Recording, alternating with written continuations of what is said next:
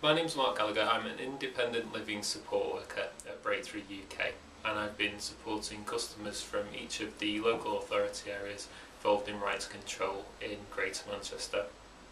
Um, I do believe that right to control should be extended for another 12 months so we can continue to learn about what works and what doesn't and to continue to give people choice and control about the support.